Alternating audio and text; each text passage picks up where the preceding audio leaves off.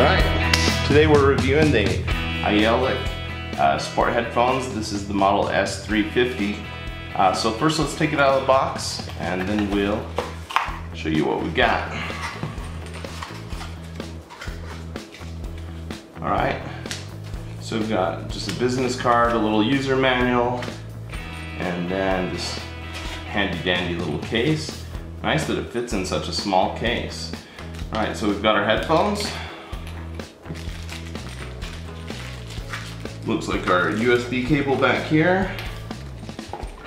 The case, uh, a couple extra buds here for the ears, uh, and a bunch of others. So we've got replacement parts for everything and different sizes. Uh, so we'll, we'll leave those in there for now.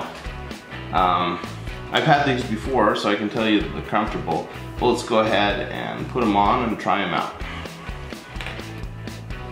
All right, so here we go. Um, if you're used to over-the-ear uh, earbuds uh, for your sport headphones, uh, these are a little different um, in a very good way. Um, these ones flip on so much easier. You just stick them in and you're done. And they don't pop out. So you don't need it over your ears. It just fits right into your ear. It's a really snug fit. They're super comfortable and they're, they're sound isolating. So even though they're not designed to be sound isolating, they, they're such a snug fit that it's hard to hear when you have them on. Um, it's actually kind of weird talking to the microphone with these on because it's like in a recording studio when you have your ears uh, plugged up that your voice sounds a little different. That's how it's like. So super comfortable. The um, volume and the on and off and everything's right here on the right ear, just like most headphones, uh, Bluetooth headphones. So the controls are, are pretty standard. Uh, and same with the USB plug, it's just right there.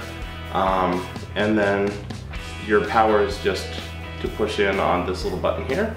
So it's all just right there. Um, pretty easy to figure out when it's in your ear. So the usability of these is great. They're, they're pretty easy to use. Um, and um, at least with the, the pairs I've had, they last quite a while. I go through headphones pretty fast. I, I run a lot. And so I use these mostly just out on trails and stuff like that.